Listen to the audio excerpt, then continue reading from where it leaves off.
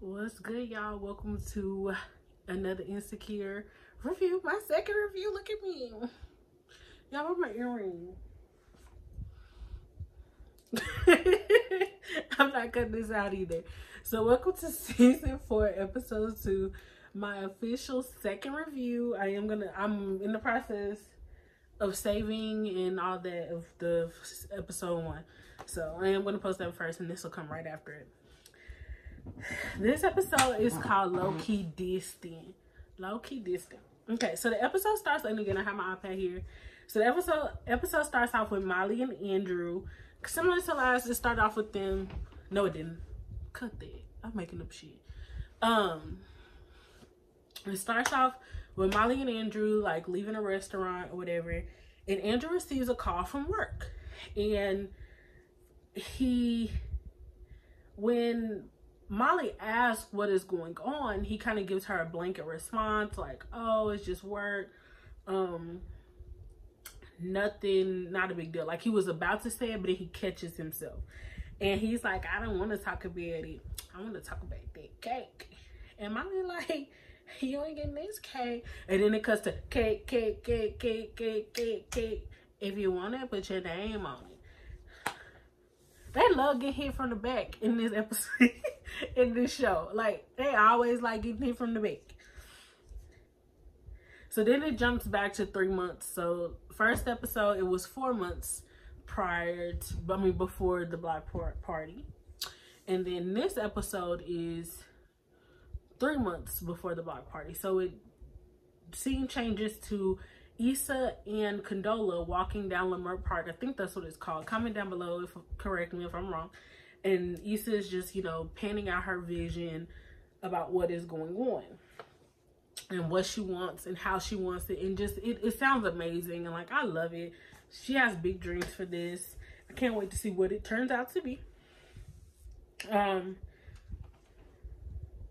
I'm interested to see like where their relationship is gonna go. Like, is it gonna be a positive relationship? Is Condola gonna be trifling and conniving? Like, what is it gonna be? I'm very interested to see. Um, she offers Condola drinks, you know, for helping her out. Like, you've been like helping me be my partner in crime through all of this. Like, let me take you out to drinks. And she's like, oh, well, I actually have some planned on that day. You know, Issa's like, is it business or is it fun? And she, you know, says it's fun. And I, she mentions the place.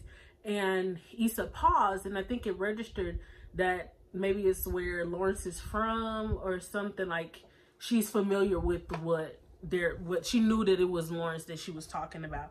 So then it made things awkward. So they both discussed like um how can it still work together without it being awkward and every time you bring up Lawrence or a memory of Lawrence, it doesn't get stiffy.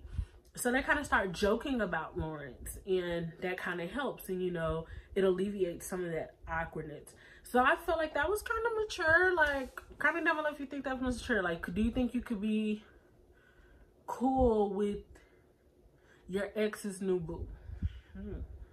Let's see how mature y'all are. okay, y'all. It comes to a scene of um them all sitting in the living room and you have Kelly as um what's her name from Baps with that pleather leather outfit on and can barely move with that hair all the way up there. Then you have um Tiffany as Cleopatra, I believe. You have Molly as an East Compton Clover. And then it took me a minute to realize who Issa was. But was Issa a jigaboo from School Daze? Comment down below if Issa was a, jig a jigaboo from School Daze. Because that's what I thought. But correct me if I'm wrong. Because it took, I was like, is she incredible? Because I couldn't see the J. But then when I saw the J and it was giving me that, that School Daze, because that's my movie. It was giving me that School Daze vibe. I was like, she's supposed to be a jigaboo. Um, and this again is Halloween, so they're preparing like little bags, and of course Tiffany is being extra with these bags. Them kids don't want what's in them bags. Um, my it cuts to Molly and Issa going into the kitchen. I can't remember going into somewhere, And Molly is kind of telling her like, "Oh, I feel kind of left out of everything." So this is the first time that Molly openly kind of says like, "Hey, I feel left out." I don't think Issa kind of, you know, picked up on it. You know, you kind of just like, "Girl, okay, whatever." Um, she also feels like um, she's telling them that she doesn't feel like Andrew has opened up to her. That Andrew is kind of just they just Netflixing and chilling. Like they don't really talk. It just it always ends up in sex. Then it cuts to Issa and Calvin, the security guard, getting it in. And again, positions, baby. Big boy got her in positions. Okay, don't sleep on us plus size people. It could change your life. but anyway, so he comes and then he's like, he looks down under the covers and realizes that the condom is not there. So, you know, freak out mode starts. Like, so they looking, Issa's like, you know, I don't see it, I don't see it. So she gets up, she goes into the restroom. He's still like, you know, like, what you yelling from the room? She has a mirror looking at her peck peck. And that's what we call Philippine in in in the Philippines called peck peck. Uh, she has the mirror and looking, trying to see if they can find the condom. Because clearly, if you can't find it, the condom is, you know, stuck up there. So she's talking and she's like, Issa, like, I'm disappointed in yourself. And, you know, it's like when she's talking to herself. So I thought that was hilarious. And the condom pops out. And it just splat. It was nasty. It splattered, and you can see the juice. I'm moving on. So then the scene moves on to Lois and Condola. Um, they're eating dinner, lunch, something. They're eating, and she mentions that her and Issa discussed him, and he that this makes him feel super uncomfortable. Like, why are y'all discussing me?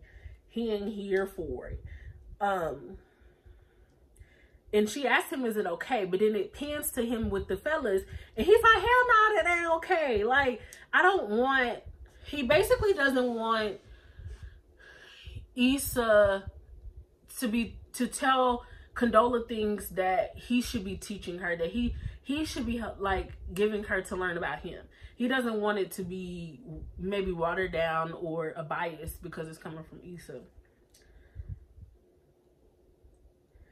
And you know, what I get, what's up with name? He said, don't, he said, don't pee in the pool where you swim.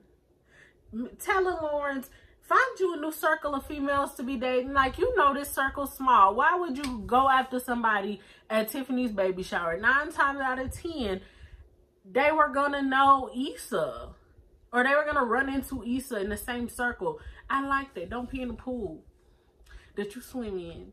Don't, never mind. It's a whole bunch of old school sayings that can't come to mind right now, but like I can see them in my head. But moving on. Um, so he's kind of trying to decide if he's gonna talk to Issa and tell her, "Hey, kind of back off," or is he gonna tell Condola, "Hey, kind of back off"? And he's kind of torn. He doesn't know which person to go to. So then it switches to um, Condola and Issa um, going further, switching to Condola and Issa sitting down, discussing business plans. And Molly walks up. And Molly's face is just like, again, why is she here? Um, this is my best friend. Why, you know, like, she needs to go. And Molly feels left out this is a, this is another time where it's not explicitly saying she's saying it, but you can just tell by her body language and kind of how she's trying to rush Condola off. And Issa's like, oh no, since you're hungry, go ahead and stay. And the thing got really awkward when there were two menus and Mal, I mean, sorry, there were two menus. Issa and Condola had a menu, took the menus, and Molly was just kind of sitting there like, I, you, I, I, and then um, got the menu from Condola, And then Issa gives her menu to Condola. like, oh, I know what I want. So it kind of feels like, I've been sitting here 30 seconds saying I needed a menu, best friend, and you ignored me. So again, I caught that. Um, that she was just like, bitch. Um, and I wonder, like, going back to like how their relationship is gonna be. So I'm looking back, trying to see. I'm trying to see. I'm trying to get the other video uploaded. If Molly has the instinct that it's not going to end well or is she just being jealous like is she trying to protect Issa or is she being protective of Issa so then um we see a like we see um we see Lawrence sitting in front of Issa's apartment and he texts her hey I'm outside so she comes out and he basically just kind of tells her to quit discussing him and doesn't basically doesn't want a conflict of interest uh, wants her to know him from him, not what Issa tells her. So then it goes to Molly and Andrew. Molly comes out, I mean, Andrew comes over. Molly is cooking gumbo. And, you know, he comes in being all hot in the pants, you know, because this is what they do. He come over and he busts it in. Molly gets him to, you know, like, no, we just need to chill, like, chill, chill. Just, that's it. And so he tastes the gumbo and was like, mm, that's salty. and Molly's like, I know salty. I know salty. And then she take like she waits till he walks away and then takes a um a taste of it. And lo and behold, it's salty. But she said, I guess we just gonna die today. Cause she wasn't making another roux. And if you've ever made gumbo or like you made true gumbo and you you from you from you got them them them roots, baby, you gotta sit there and stir that roux forever. Baby, until you get that nice brown caramel looking roux, you better you better stare. You better not stop. Or you're gonna have some burnt up grease. so um I did feel her. I'm like, I'm not starting over. Cause baby, making sure that roux is right. If you don't get your roux right, you can mess up the whole thing. Um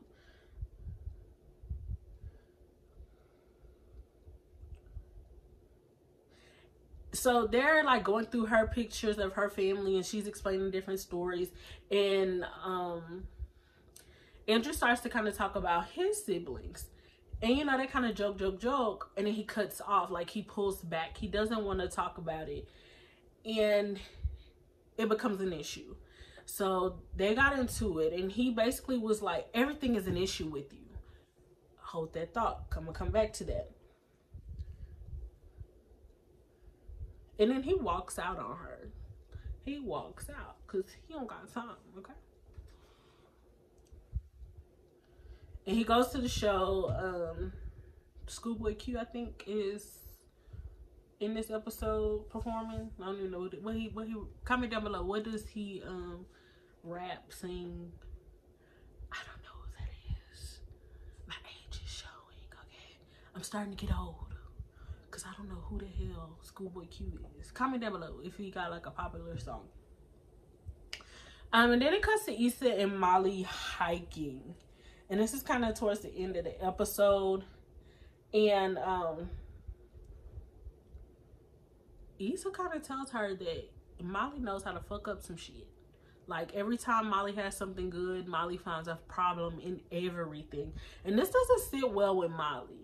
Molly has a like Molly, you just called Issa out on the last episode saying that she she um has a lot of mess in her life. You do too, boo. You do too, boo. Like pot meets kettle. So now the shoe's on the other foot, and Andrew just told you this what a night before, two nights before, whatever. Then the same week that you always have a problem, and then your best friend tells you you have a problem. You might have a problem, boo. Like you might just have it. Like accept it. Sit in it, as Iyanla would say. Sit in it. So she didn't like it. Um, Andrew does call when you know they're on the um they're on the mountain. Andrew calls and he apologizes. He did, you know, reflect and said he felt like he wasn't being open. And it's to take a moment. And she says, I'm willing to work with you on it. And, you know, it's just like, y'all, Issa over there fighting that that.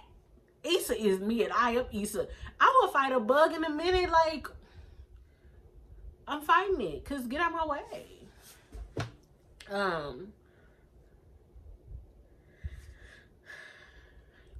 Molly says oh, that was work calling.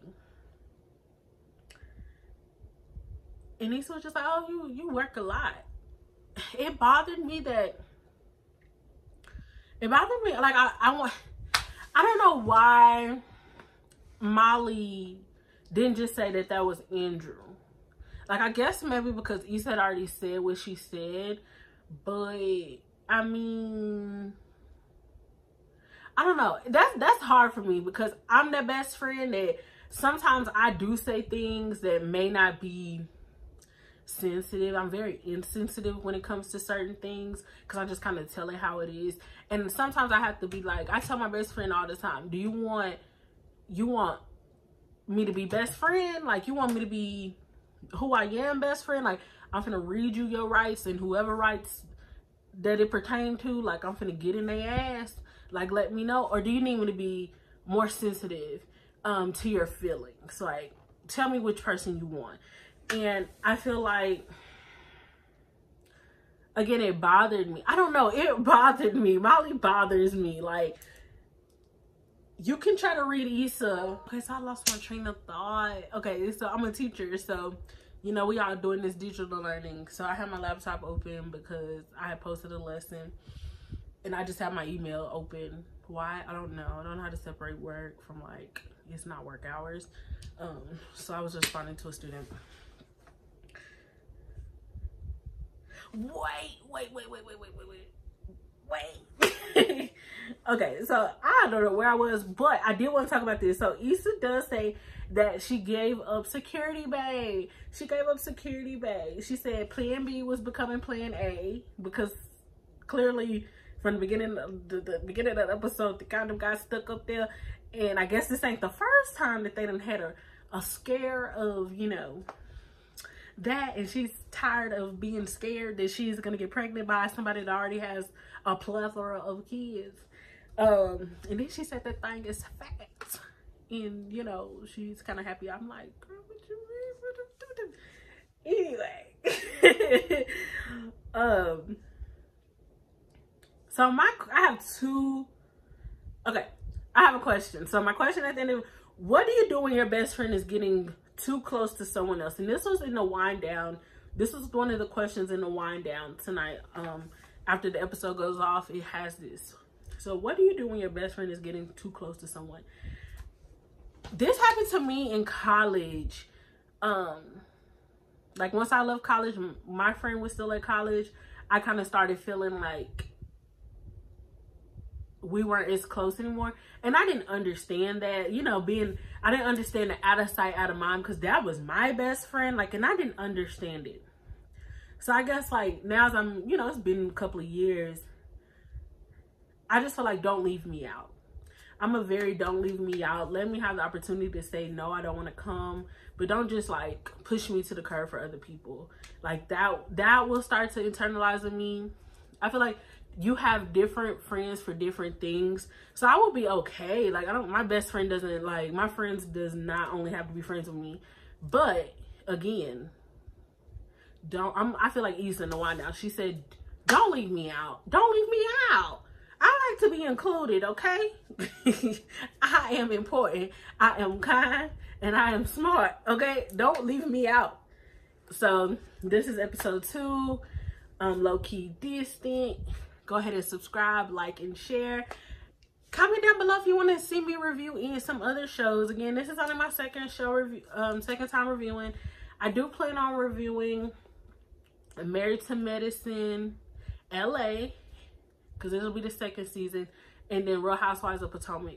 Is there any other show that you want me to review? I don't really watch Love and Hip Hop anymore or Black Ink Crew, so I really wouldn't be able to help y'all with that. Um, but what other shows would y'all like to see? Love y'all. Good night.